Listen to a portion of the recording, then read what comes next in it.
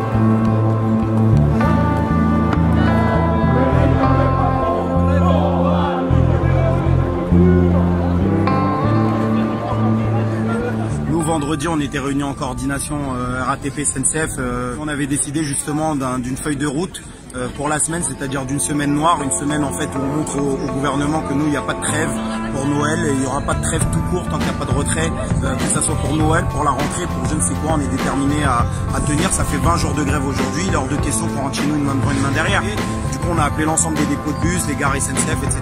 pour pouvoir euh, montrer de la détermination et nota- notamment, ça c'est important, c'est pour ça qu'on est venu à la maison de la RATP, c'est pas pour venir leur demander euh, le retrait de la réforme des, retraites, c'est pas eux qui, ont la main dessus, euh, mais de leur, montrer qu'on est en désaccord avec la répression que vivent les camarades de la RATP depuis le début de la grève.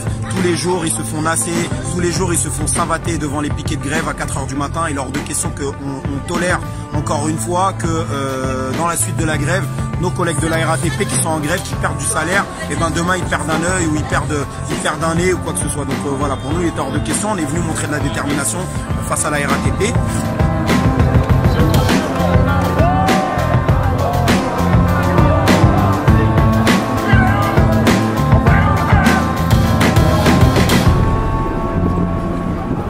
Nassé en face de la gare de Lure. Le message qu'on veut faire passer au gouvernement, c'est que notamment les enseignants et les étudiants, nous sommes en vacances scolaires, mais on est quand même dans la lutte. Voilà, donc effectivement aujourd'hui nous ne sommes pas grévistes, mais par contre s'il y a des actions, etc., on sera dans la rue. Donc nous ce qu'on demande simplement, c'est le retrait euh, de cette réforme en fait. Voilà. Et pas que, parce qu'en fait c'est vraiment un choix de société là. Voilà, donc il y a, les retraites, mais pas que, il y a aussi le chômage, il y a, les services publics, euh, la garantie euh, des soins, de l'éducation.